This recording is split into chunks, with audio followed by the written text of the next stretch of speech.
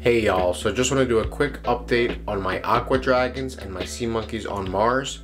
Both tanks are doing pretty good. I recently did lose my last adult in the Sea Monkeys on Mars, but there are some babies and some teenagers growing up, so the colony's still going pretty strong.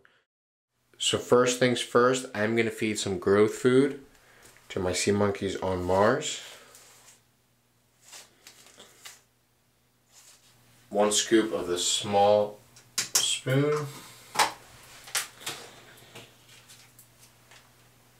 And then we have our Aqua Dragons food.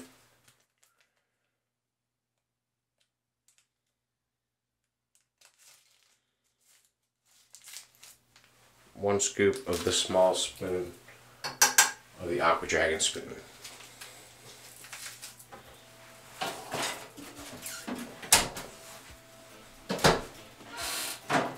Now let's stir the tanks a little bit.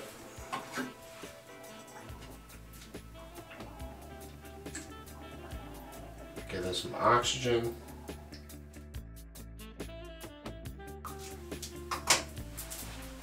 And I'm going to put a little bit of spring water this time instead of distilled. I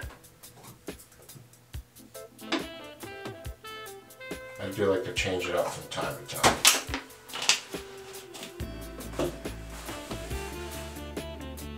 All right, let's let these tanks settle for a minute and then let's take a closer look.